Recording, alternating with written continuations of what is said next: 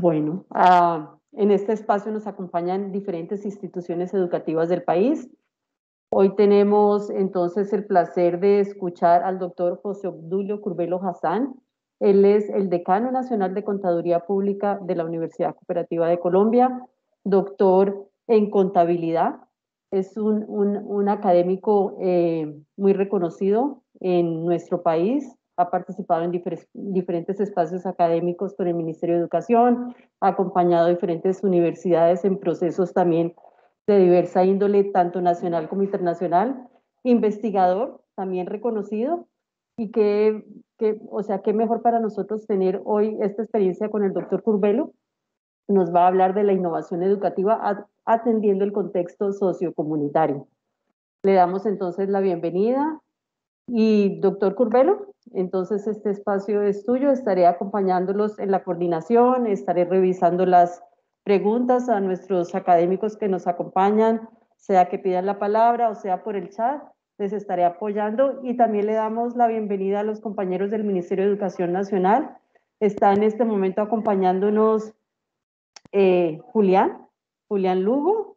No veo a, a María Camila que también nos acompaña a todos los, todos los eventos. Julián, bienvenido. Doctora Anabela, muchas gracias. Profesor José Obdulio, mil gracias por este espacio. Justo hoy María Camila no nos puede acompañar por unos compromisos institucionales de todo el día completo, pero acá estamos yo y Sandra por parte de la asistencia técnica de AFIP para apoyarlos y para acompañar el proceso, como decía la doctora Anabela. Gracias, Julián. Bienvenido también a este espacio y entonces adelante, doctor Curbelo. Bueno, eh, doctora Anabela, qué alegría y qué alegría poder estar con todas las personas que están conectándose hoy a este espacio de interacción académica.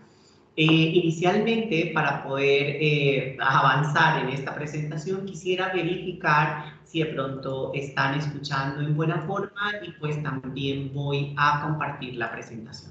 si alguien me puede confirmar si todo está funcionando en buena forma, se lo agradecería buen audio y estamos viendo la presentación, doctor. Perfecto. Bueno, entonces voy a conversar un poco con ustedes y quiero que lo veamos en ese entender. Voy a conversar con ustedes sobre la innovación educativa atendiendo el contexto sociocomunitario. Parecería que en este entender hay grandes complejidades que inician a emerger. Y de seguro que así va a ser porque efectivamente quisiera yo estructurar la presentación alrededor de cuatro grandes momentos. Un primer momento sobre un gran elemento para poder entender el contexto sociocomunitario actual. Y tiene que ver fundamentalmente con comprender qué ha cambiado en el mundo. En el segundo momento, poder comprender un poco y pensar todo lo que tiene que ver el contexto sociocomunitario actual. Y desde allí compartirles, atendiendo ese entender de ese contexto, algunas prácticas que nos han permitido a nosotros realizar innovaciones con algunas tipologías de recursos, atendiendo las particularidades, características de nuestra comunidad académica en la Facultad de Contaduría Pública de la Universidad Cooperativa de Colombia. Y finalmente plantearé unas reflexiones finales de el por qué seguir afianzando o por qué seguir apostándoles a prácticas y a narrativas alrededor de la innovación educativa en el contexto sociocomunitario. Y para entrar en el desarrollo de este planteamiento, emerge la primera gran pregunta. La primera gran pregunta que es a su vez una gran reflexión. ¿Qué ha cambiado en el mundo? Y parecería que en el mundo ha cambiado muchas cosas. Y nosotros pensamos que los cambios del mundo, y los veníamos conversando desde hace muchos años. Desde hace muchos años yo recuerdo que yo era muy pequeño y mis padres me educaban diciendo que íbamos a tener una etapa de crisis ambiental y que tendríamos que usar mascarillas. Pues lo estamos viviendo ahorita y estamos enfrentando ese fenómeno. Entonces creo yo que, que de repente estos cambios los veníamos conversando, pero es necesario que precisemos qué ha cambiado en el mundo para poder avanzar esta, esta gran reflexión sobre en qué entorno y en qué escenarios vamos nosotros a poder conversar sobre dónde vamos a innovar. Porque podemos estar pensando que uno innova, pero ¿para qué contexto vamos a innovar? ¿Para qué tipo de sociedad? Y sobre todo, ¿para qué tipos de sujetos se plantea esa innovación? Entonces, lo primero que nosotros debemos tener hoy a la mano, y muchos y muchas de los que están aquí lo, lo tienen muy a la mano de igual forma, pero vale la pena siempre retomarlo y reflexionar. En la sociedad actual, con los planteamientos de Barack Klein y Won, se ha ido repensando la noción de vida, en gran medida atada a toda esta dinámica que se gestó desde los noventas con toda esta tradición de la filosofía analítica heredada de la tradición de Searle y toda la tradición eh, de Wittgenstein que va a comenzar a tratar todo el tema de la ética, pero vista desde la perspectiva del discurso. Y al llevar a esta noción del discurso, da cabida a toda una reflexión sobre éticas aplicadas. Y en este entorno emerge el contexto de la bioética, que efectivamente va a llevarnos a la sociedad de hoy a un gran concepto, el concepto de vida, pero vida con Y, no con I latina. La I latina va a ir quedando gradualmente de un concepto de vida articulado a la tradición, a toda la tradición evolutiva darwiniana el concepto de vida hoy es un concepto que reconoce que hay otras formas en que se puede expresar la vida. Y esto confluye en cuatro grandes cosas para todas las personas que están siguiendo en esta transmisión en directo y para quienes lo seguirán en forma diferida. Es importante que tengamos a la mano esos cuatro grandes planteamientos. Se considera vida cuando los seres tienen la capacidad de almacenar la energía, de poder crear y recrear con ese almacenamiento, generar su equilibrio interno y generar de forma particular aprendizajes que implican la disipación. Estos cuatro grandes elementos da cabida al concepto de hoy sobre qué se entiende de vida. Este es para todas las personas el primer cambio que tenemos que tener a la mano. Cuando yo digo que este contexto de vida está, estamos diciendo que tendremos que preguntarnos si podemos seguir consumiendo los animales que consumimos, que si los procesos de la producción en la industria seguirán siendo los mismos, porque si son vidas, entonces vamos a producir con vida, no con cosas inmateriales como los veníamos traduciendo. Primera gran reflexión y primer gran cambio. El segundo gran cambio que nosotros debemos tener hoy en la sociedad contemporánea tiene que ver fundamentalmente con un cambio en la concepción educativa. Dentro de la tradición educativa, nosotros veníamos trayendo todo ese concepto de aprendizaje a lo largo de la vida que, fue tan importante y que extrapoló hacia finales de la década de los 90. Pero hoy tenemos un gran detonante sobre cómo vamos a entender la noción de educación.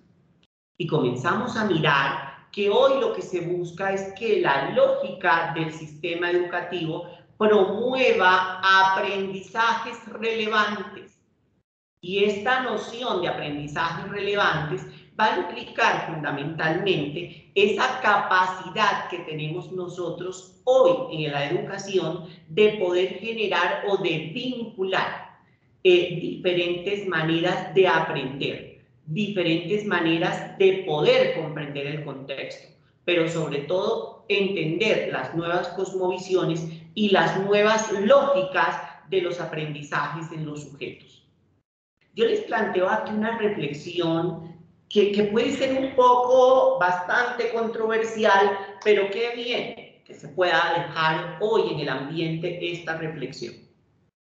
Nosotros como profesores y profesoras universitarios, hoy vamos a recibir unos estudiantes para aquellos que van a ir al modelo de alternancia o que están ya eh, permitiendo que vayan estudiantes a sitio de prácticas y demás.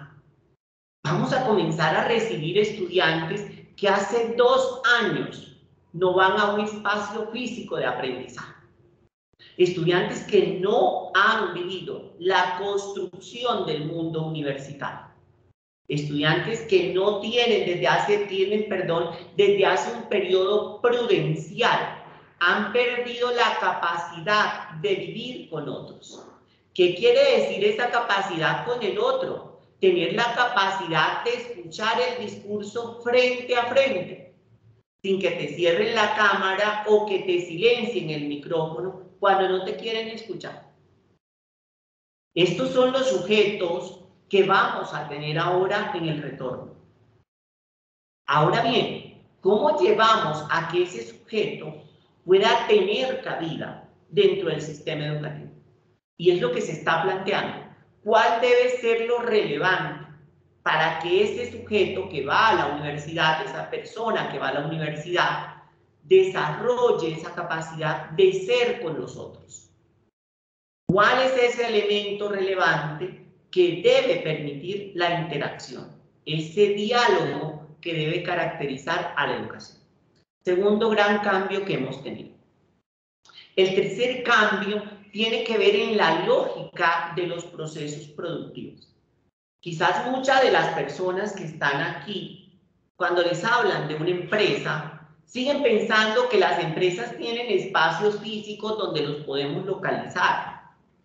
Y yo quiero dejarles claros hoy en el entorno de esta presentación que las empresas pueden ser físicas o presenciales, claro que sí, pero la mayoría de empresas son empresas nativas digitales o migrantes digitales. ¿Qué quiere decir ese contexto? Que efectivamente, señoras y señores, el concepto de la ubicación para la prestación del servicio o la labor que se contrata desaparece, que efectivamente comienza a quedar diluido el concepto de la humanización como la veníamos abordando. Y comenzamos entonces a generar un cuestionamiento al nuevo sistema empresarial. Debe ser un sistema que va evolucionando cada vez más a pasos agigantados en dos grandes variables, la democratización y la responsabilidad. Si les tuviera que contar en castellano del ardor común, ¿esto qué nos quiere decir? Que gran parte de las funciones que venían desarrollándose o que eran solo potestativas del Estado, comienzan a comulgar cada vez más con todo lo que tiene que ver con los campos de desempeño de las empresas. Por lo tanto, el espíritu de la cooperación y las consecuciones sociales pasan a ser parte esencial del desarrollo del objeto productivo de las empresas. Tercera gran variable de cambio que vivimos hoy. Y damos paso al cuarto gran cambio que quiero que vayamos teniéndolo allí de referente porque a veces las cosas son tan evidentes y por ser tan evidentes se vuelven también tan, tan, pero tan objeto de exclusión y de olvido. Cuarto gran cambio tiene que ver con el cambio en los mercados abiertos. Cambió la manera de negociar. Y quizás aquí dentro de esta sesión, muchos y muchas se van a identificar con este pequeño gran planteamiento. Tecnologías. ¿Tecnologías para quién? Para la gran industria. Cadenas logísticas para la gran empresa. Eso no se enseña aquí, porque esta zona es una zona muy apartada donde esos recursos no van a llegar donde hay dificultades de conexión. ¿Qué nos ha enseñado esta época? Esta época nos enseñó a que ese discurso se enfrenta a grandes crisis. porque el señor de la venta del restaurante de la vuelta de su casa o el señor o la señora o que venden la miscelánea de la vuelta de nuestras viviendas decidió vender por WhatsApp y crear una red logística de compra y venta de productos.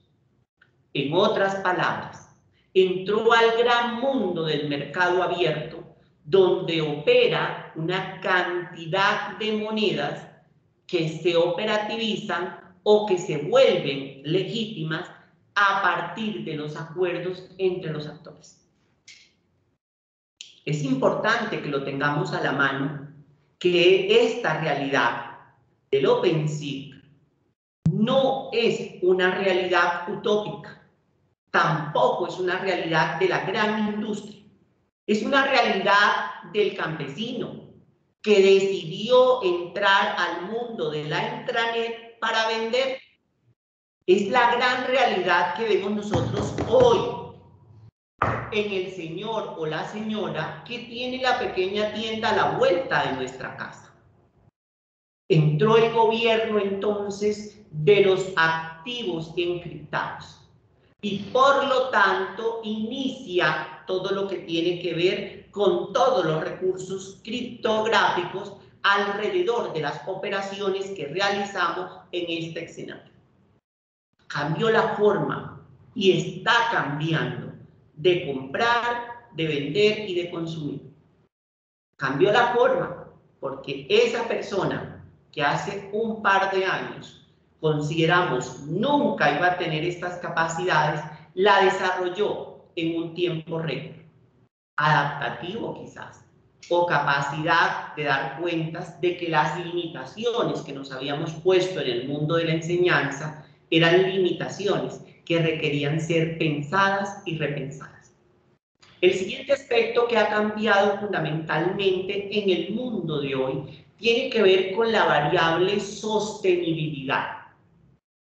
¿Por qué lo sostenible?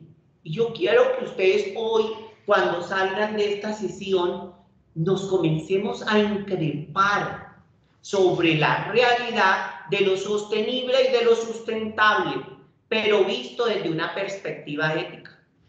Señoras y señores que están conectados hoy en esta transmisión en directo y aquellos que nos verán en diferido. Hoy día nos tenemos que preguntar en este contexto de lo sostenible y de lo sustentable, reflexionar nuestros hábitos y costumbres acorde a los patrones culturales. ¿Qué quiere decir esto? Que hace parte de lo ético que usted se ponga a pensar cuál es el costo de sostener al hermano árbol de la avenida.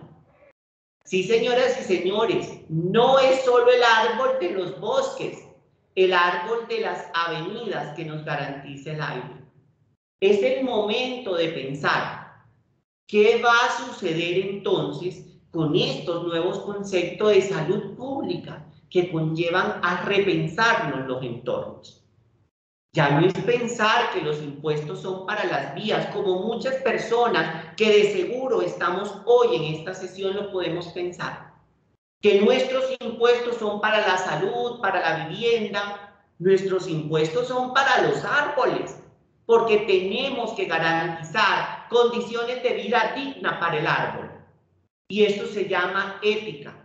Y esto hace parte de los grandes cambios que hemos vivido hoy en la sociedad actual y que la educación requiere encarar esta realidad como un fenómeno de los objetos de estudios materiales, tanto del ambiente como la ética, como de las responsabilidades de los sujetos contemporáneos. Parecería cosa de mentira que un término que se volvió tan común enunciarlos nos conlleve a que la lógica no se agota, no se agota, fundamentalmente en plantearnos que hay que cuidar el árbol o hay que sembrar el árbol, que hay que construir redes y que esas redes van con cargos a la política impositiva.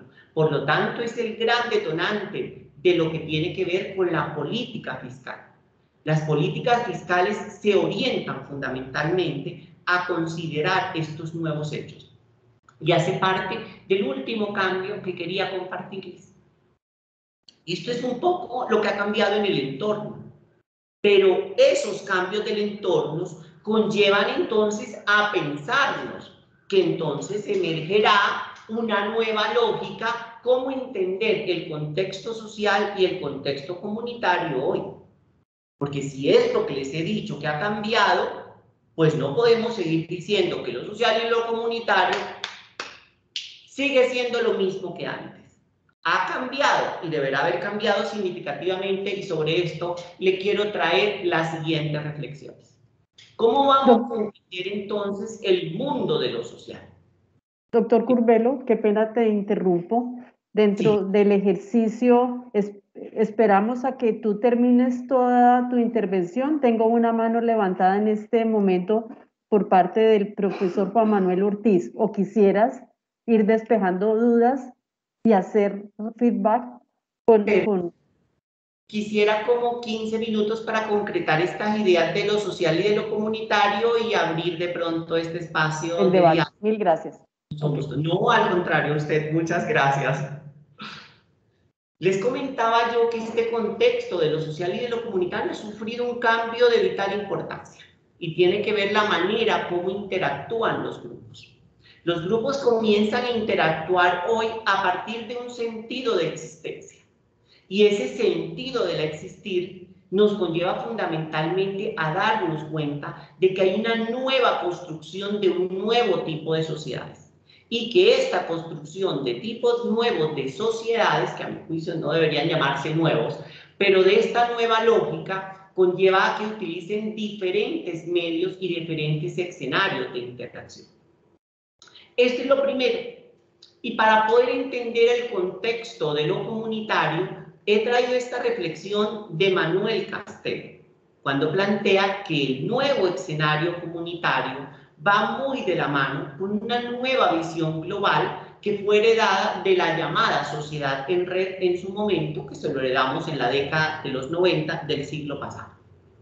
Y esta nueva, nueva red o este nuevo tipo de sociedad comienza a hablar del concepto del internauta, pero lo internauta como una estructura social en la que van a confluir diferentes maneras de comunicarse y de interactuar. En otras palabras, estamos hablando qué va a ser lo común. Lo común va a ser la red. Y la red nos va a permitir entonces a nosotros poder plantear puntos de conexión y puntos de desconexión. Estos puntos de conexión e interconexión y de desconexión conllevan fundamentalmente a hablarnos que efectivamente hay una nueva morfología social. Y esa nueva morfología social hace que efectivamente sea común para los actores los valores, las estrategias y los radios de acción mediante códigos que se logran compartir. Entonces, en este entender, podríamos nosotros afirmar que el nuevo escenario social y comunitario es un escenario interconectado. Y cuando hago referencia a la interconexión, hago referencia a valores, a contextos y a radios de acción. Es decir, hay una nueva gran faceta de, las, de la vida moderna que conlleva el surgimiento de unas nuevas instituciones que efectivamente comienzan a generar una gran dinámica de cambio o una gran dinámica de transformación. Atendiendo este contexto, quisiera plantearles que fundamentalmente nosotros hemos visto entonces como, como facultad la necesidad de plantearnos cómo deberíamos entender la innovación educativa a partir de estos cambios en los contextos. Y hemos encontrado grandes aprendizajes y grandes lecciones aprendidas. Entonces, lo primero que quiero contarles a ustedes es que nosotros, efectivamente, frente a esta dinámica de cambio, comenzamos a preguntarnos por en qué vamos a conectarnos o cómo vamos a conllevar a que nuestros estudiantes interconecten con otros. ¿Cuál va a ser esa intencionalidad y efectivamente qué experiencia queremos que el estudiante o las estudiantes puedan adquirir dentro de su proceso. Y esto nos conllevó a incorporar una primera lógica, una primera noción que tiene que ver con la noción fundamentalmente de los ecosistemas digitales de aprendizaje. Y esa intencionalidad, que es un poco la que quiero compartirles en esta mañana, tiene que ver fundamentalmente con la necesidad de poder establecer intencionalidades formativas. Y nos conllevábamos nosotros a una primera gran reflexión. Nosotros veníamos de una experiencia de enseñanza fundamentalmente, donde para para que un estudiante pudiera abordar una temática requeríamos una gran base de datos, requeríamos un gran volumen de recursos por suscripción. Comenzamos a darnos cuenta que cada vez más las nuevas generaciones comenzaban a preguntarse por la necesidad de poder tener contextos o interacción donde se democratizara el conocimiento, donde se democratizara la ciencia. Y es aquí donde nosotros comenzamos a encontrar una gran virtud. Cómo efectivamente podemos llevar a todas estas nuevas dinámicas de cambio, a todas estas realidades que hemos venido conversando hasta lo que va ocurrido de esta presentación, cómo vamos a ir nosotros viendo ese mundo y ese escenario. Y encontramos fundamentalmente la necesidad de que precisáramos resultados de aprendizajes y a partir de precisar resultados de aprendizajes, comenzar a mirar entornos vivenciales de esta sociedad que migra en la tecnología, de una sociedad que vincula diferentes tipos de escenarios y de diferentes tipos de contextos y que pudieran convertirse en escenarios propios para el aprendizaje. Y encontramos grandes momentos que es importante que lo reflexionemos y que lo miremos. Aquí les voy a compartir un primer gran cambio que nos encontrábamos nosotros. Como ustedes lo están viendo en pantalla, este primer cambio que nosotros eh, fuimos dándonos a la mano tenía que ver fundamentalmente con la manera como íbamos a llevar a los estudiantes a una nueva realidad de organizaciones emergentes y comenzamos a llevar que fundamentalmente hoy las ideas de negocios ya no son financiadas por empresas o por organismos necesariamente. Hoy el escenario actual conlleva esto que ustedes ven en la presentación en estos momentos, es la presentación en línea, el uso del acercamiento del estudiante a plataformas donde se ofrece el crowdfunding que son fundamentalmente plataformas que se dedican a financiar estas nuevas iniciativas de los jóvenes. Y estas plataformas que le piden al chico fundamentalmente para su aprendizaje. Un video de un minuto. Y esto nos conllevaba entonces a nosotros a pensar que este cambio conllevaba a consolidar unas competencias comunicativas y a trabajar dentro de un curso, por ejemplo, para este caso un curso del área financiera, comenzar a trabajar todo lo que tiene que ver para el logro de la competencia, el uso de escenarios de libre acceso y de las nuevas tendencias tecnológicas en desarrollos y en producción de negocios. Esta primera lógica es de gran importancia porque esto estuvo muy acompañado ya no del uso clásico que utilizábamos o que veníamos utilizando alrededor de las grandes bases de datos como Bloomberg, sino comenzar a mirar lo que ustedes observan en estos nuevos momentos en pantalla.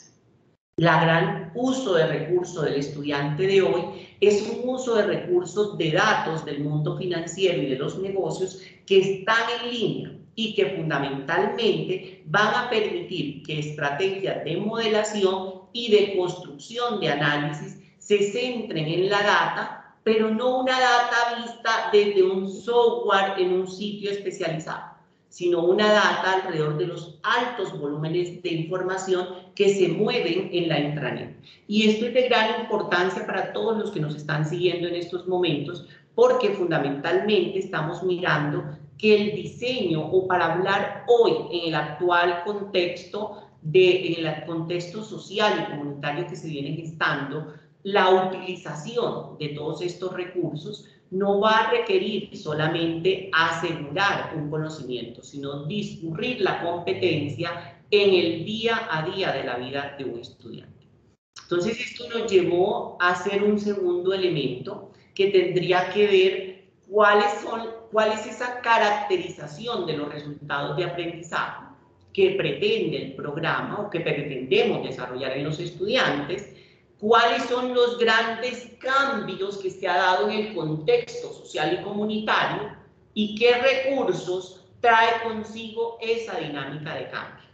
Y poder permitir también todo un acercamiento o una ruta a usabilidad de recursos. En otras palabras, lo que les estoy proponiendo o lo que les estoy comentando es que nosotros comenzamos a mirar que era para poder innovar en el nuevo contexto, se requiere avanzar en una articulación de actividades que vinculen los grandes cambios que se están dando en el entorno. Ya no solamente se requiere tener los grandes postulados que hemos venido teniendo en el mundo de la ciencia y que se siguen requiriendo. Requerimos que esos postulados se lean en perspectiva y que puedan permitir que le sirvan al estudiante realizar lecturas mucho más complejas. Y a partir de este hecho, poder comenzar a plantear que el nuevo escenario que se está gestando hoy, que se conoce como esos nuevos cambios en el entorno social y comunitario, conllevan entonces a que nosotros nos tracemos nuevas formas para que el estudiante interprete argumente y aborde situaciones. Situaciones ya no solamente del mundo real, sino de los nuevos mundos que están emergiendo con la nueva dinámica social. Interacción mediada por tecnología, relación humano-humanoide, el Internet de las cosas, la conexión entre las máquinas. Van a aparecer entonces como un gran campo de posibilidad que van a permitir incorporar prácticas emergentes que van a posibilitar entender estos nuevos contextos que ya no son solamente contextos para poder hablar que en el Internet hay solamente todo es negocio o solamente es interacción social. Toda esta nueva dinámica nos lleva al trabajador social de redes. Todo nos lleva a unos nuevos acuerdos de un ordenamiento jurídico cuáles son esos grandes problemas que no se pueden resolver en ese mundo y que nos detonan. Y en este punto nosotros encontramos fundamentalmente gran cantidad de recursos tecnológicos que nos van a permitir a nosotros avanzar fundamentalmente al diseño y al uso de gran cantidad de simuladores, como el banner que ustedes observan en estos momentos, que va a permitirle fundamentalmente a los estudiantes simular situaciones que se presentan en el mundo de hoy, en ese mundo cambiante social y comunitario, que va a conllevar entonces innovar. Innovar la práctica va a significar entonces capacidad de poder generar respuestas a unas nuevas dinámicas y a unas nuevas formas de interacción y también formas de construcción. Esto es un poco lo que nosotros entonces comenzábamos a mirar y comenzábamos a llamar como que este nuevo contexto nos conlleve entonces a una hibridación.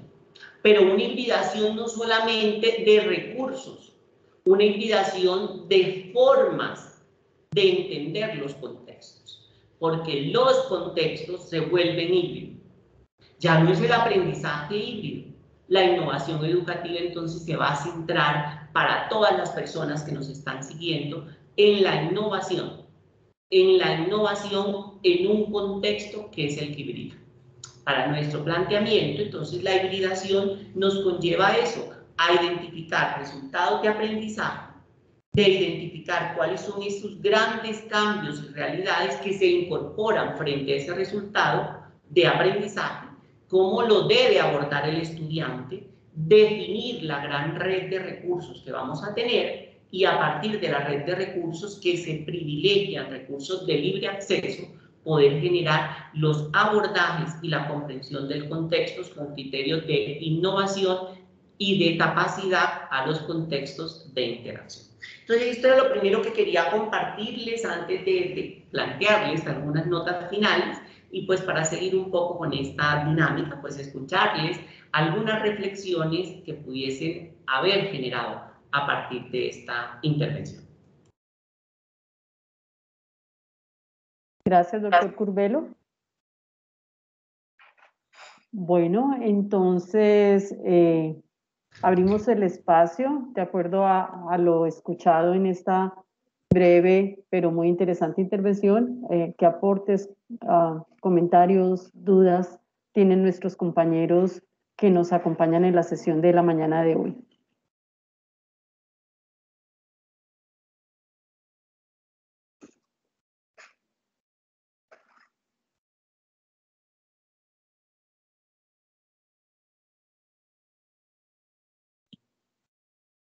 ¿Alguna intervención?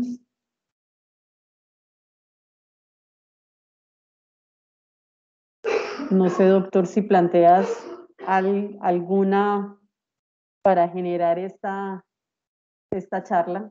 Pienso, bueno, Carlos Julio, eh, Carlos Julio ha levantado la mano. Carlos Julio Restrepo, un compañero nuestro de la universidad. Adelante, Carlos Julio, gracias.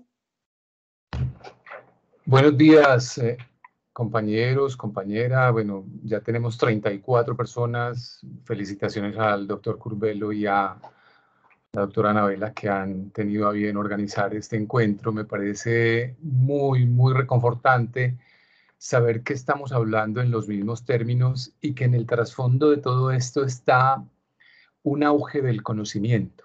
Es el conocimiento el gran determinante de que logremos entender eh, las diferentes velocidades y apropiaciones que tenemos, no solo en América Latina o en Colombia, sino en el mundo entero, de cómo avanzan unos y cómo avanzan los otros. No vamos a decir nombres ni a poner ejemplos, pero me ha parecido muy, muy conmovedor por, por decir lo que usted arranque hablando de la vida.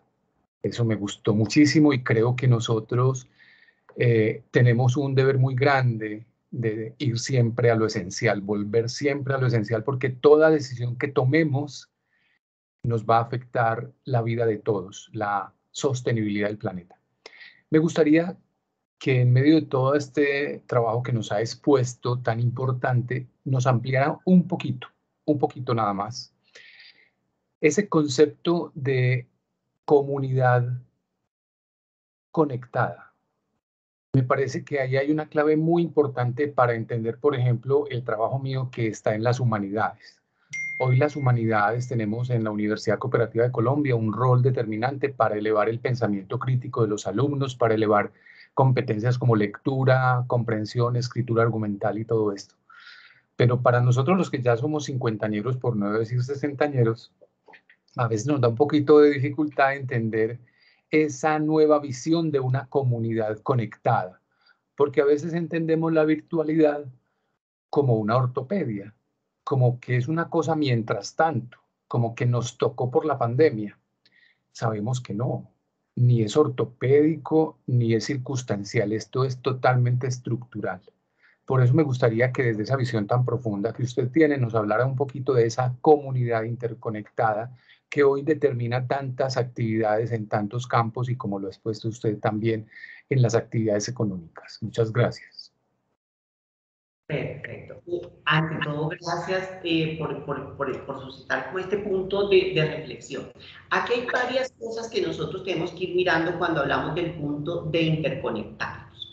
Nosotros nos habíamos creado un imaginario que la interconexión se generaba fundamentalmente porque era con Internet ahorita se interconectan a partir de proyectos y de apuestas en comunes. Entonces, cuando nosotros hablamos de interconectar, emerge la pregunta, ¿qué es eso que queremos que los otros confluyan? ¿Cuál es esa intencionalidad que tendremos nosotros que comenzar a abordar? Entonces, esta intencionalidad, yo quiero colocar un caso que a mí me ha llamado poderosamente la atención. Nosotros veníamos con un gran debate en uno de los espacios de aprendizaje, en uno de los cursos fundamentalmente de la formación, y quiero colocarlo porque cuando nosotros decíamos, tenemos que interconectarnos alrededor de lógicas, de ideologías, comenzamos a plantearnos, nos vamos a interconectar alrededor de crear mundos verdes, muros verdes, perdón, en los espacios del edificio donde está la facultad. Y ese escenario de qué nos conecta nos lleva a trazarnos un proyecto en común.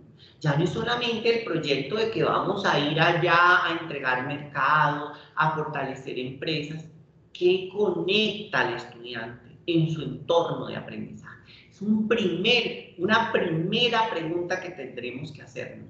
¿Qué interconecta para poder lograr el aprendizaje? Si eso no está, los estudiantes ya no quieren seguir viendo temas, no quieren seguir repitiendo. ¿Qué vamos a lograr? ¿Cuál va a ser ese primer punto? Fue la primera, el primer aspecto a tener a la mano. El segundo aspecto tiene que ver con un elemento bastante controversial cuando nos vamos a preguntar qué vamos a hacer para conectar, tendremos que preguntarnos sobre la ausencia de una educación para tener la capacidad o para poder entender el mundo de la inteligencia artificial.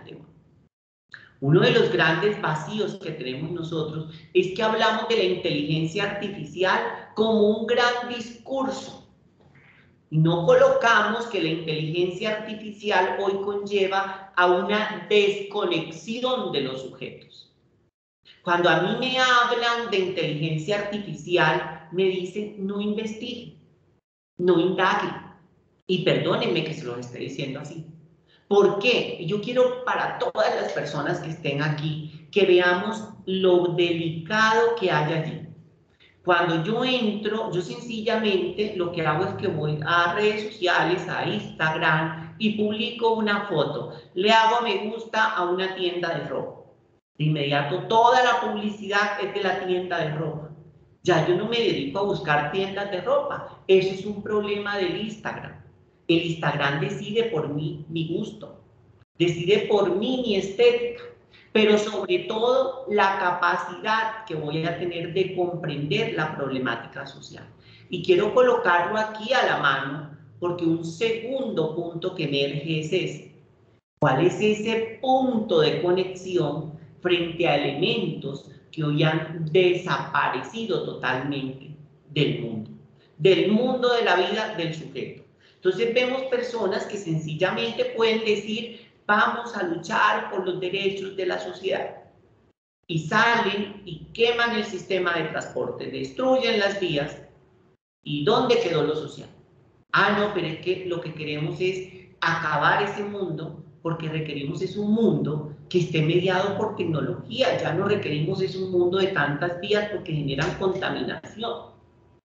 Destruimos los puentes por donde vamos a pasar.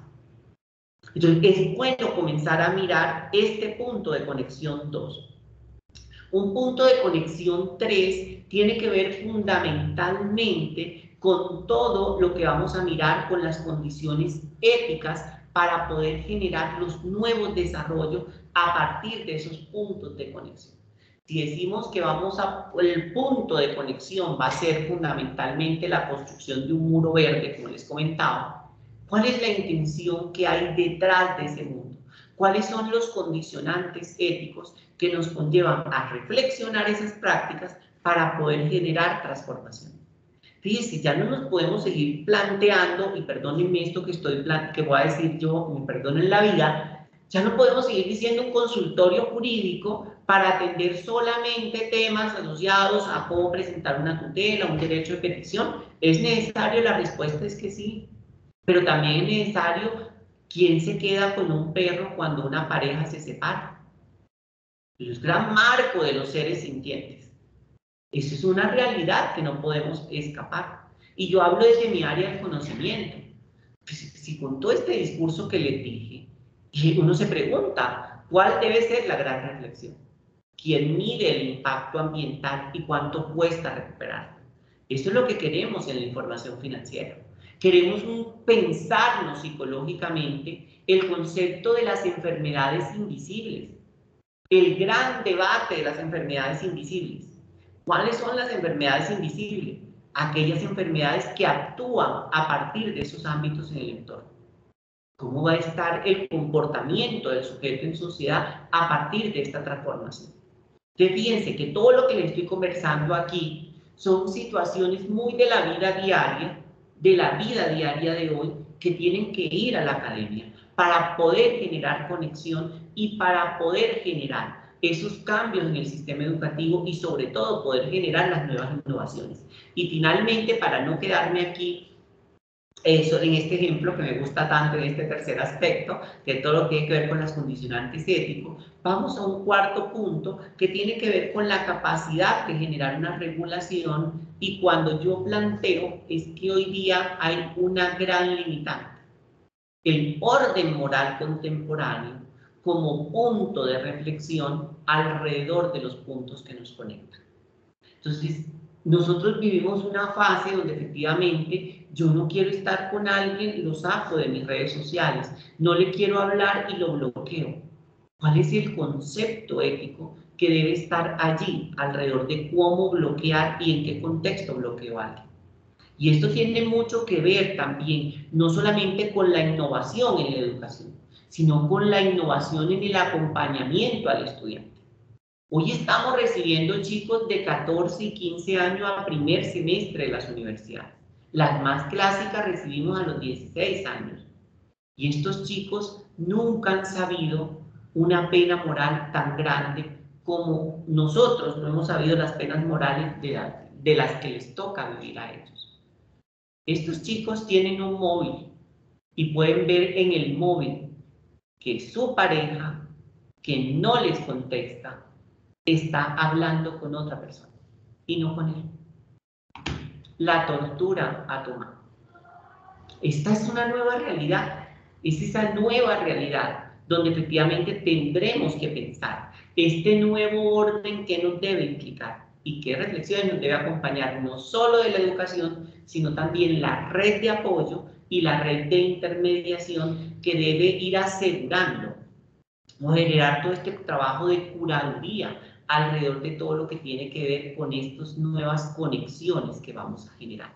Entonces esto lo quería dejar allí porque son cuatro grandes aspectos que efectivamente debemos tener a la mano cuando hablamos de qué nos conecta, que no solamente nos conecta la intranet, nos conecta también la construcción discursiva. Entonces quizás eh, yo diría que que vi que Stan lo solucionaría diciendo que efectivamente la ética son esos acuerdos de una, de, una comunidad lingüística.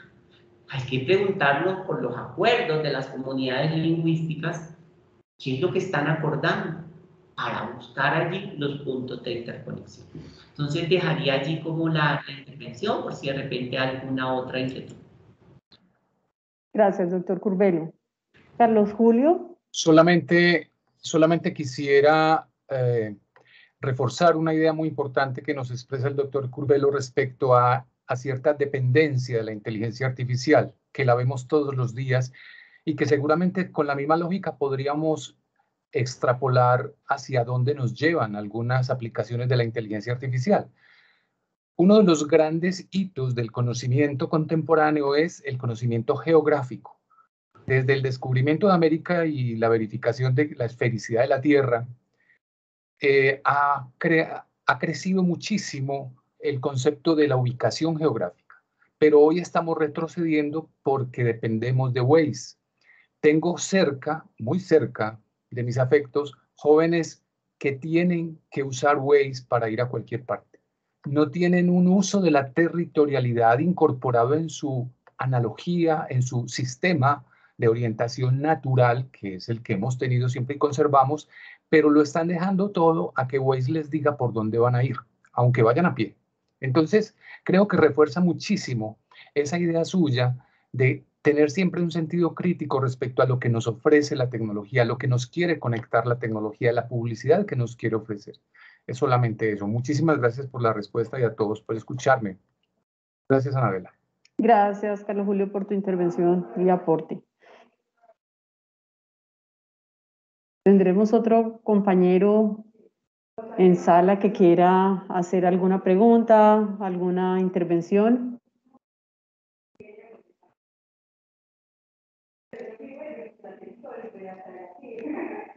Doctor Curbelo. Bueno, eh, yo tendría como, eh, perdón, creo que sí. sí. Es Sí, adelante. Sí, adelante. Muy buenos días, ¿me escuchan?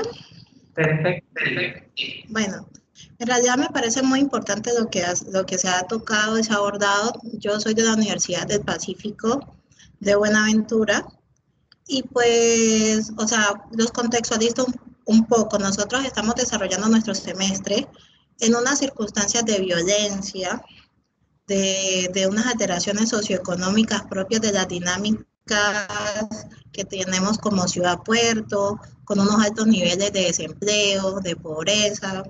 ¿Y por qué les cuento esto? Porque más allá de, de, ser funcionaria docente, eh, estoy muy de acuerdo con lo que dice nuestro panelista porque dar clases en estos contextos ha sido y está siendo muy difícil. Cuando mis estudiantes dicen que por ser jóvenes hombres eh, sienten miedo de ir a las prácticas de laboratorio por el tema de las fronteras invisibles, ya, o sea que hoy por lo menos un estudiante me manifestó que la decisión de él había sido irse, que se podía conectar pues a las clases en las sesiones virtuales, pero por lo menos que en las prácticas, y, y uno llegar a, a, tener una posición de verdugo, o sea, esto como docente a mí me, me, me confronta en muchos retos.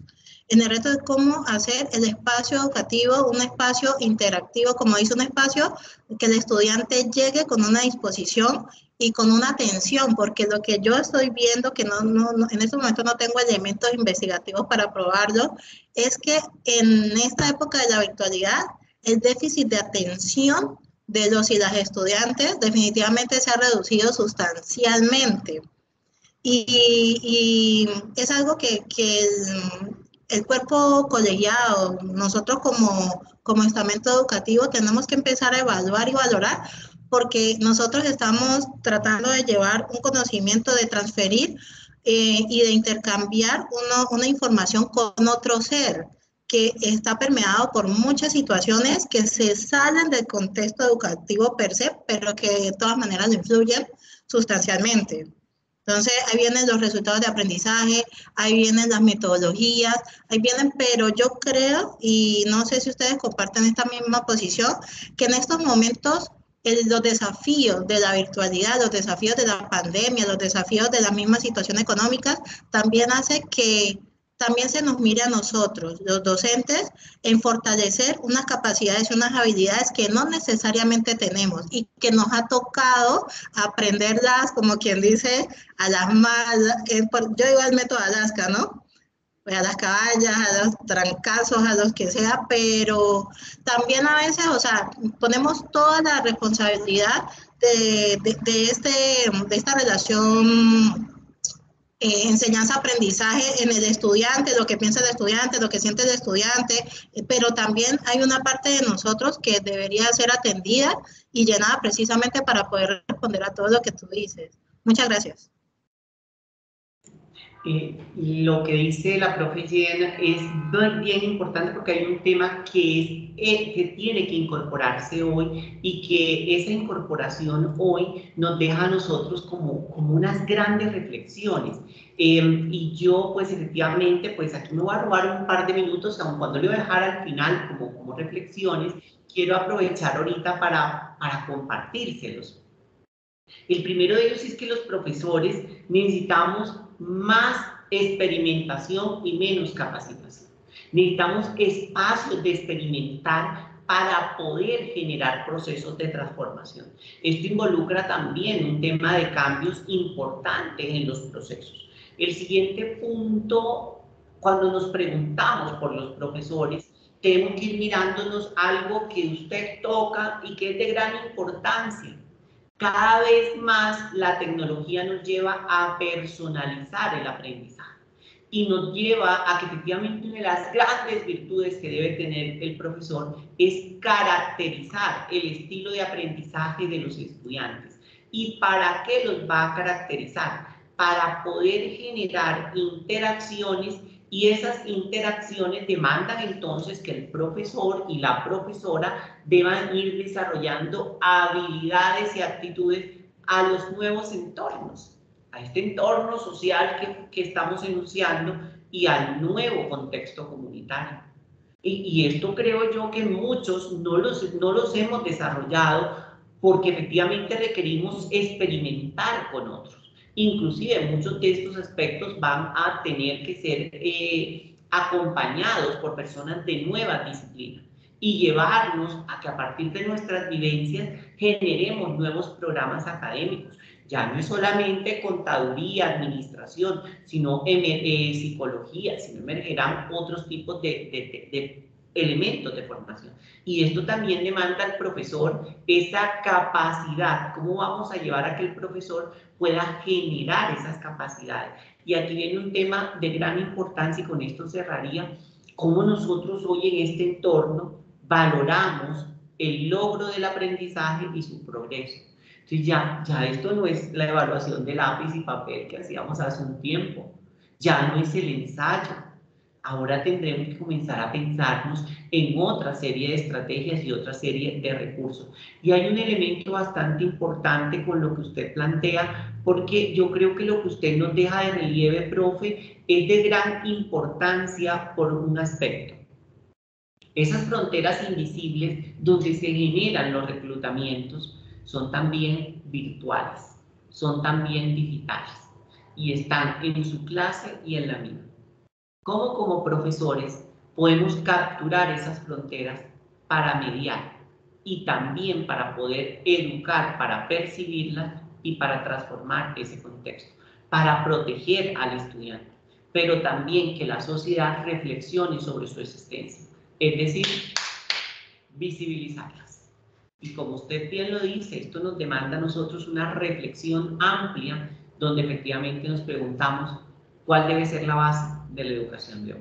Entonces esto, profe, gracias por propiciarnos esta reflexión que me parece de gran importancia para poder también darnos cuenta de que efectivamente seguimos muchas veces eh, focalizándonos dentro de un panorama, como usted bien lo dice, del mundo real, pero también tenemos otras fronteras invisibles que efectivamente siguen siendo divisibles porque ni siquiera sabemos que existían fronteras invisibles, eh, que están en el intranet, que están en nuestras aulas de clase, y que efectivamente nos dejan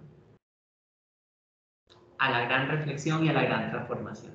Muchísimas gracias. Doctor Curvelo, muchísimas gracias por esta charla. Eh, espero haya sido de total interés también para nuestros participantes.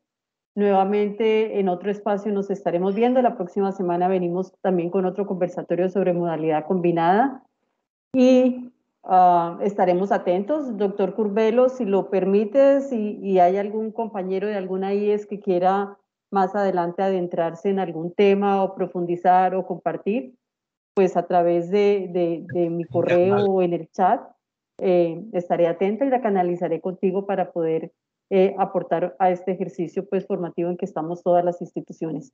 Mil gracias entonces para todos, una feliz tarde. Gracias, doctor. Saludos entonces para todos los asistentes.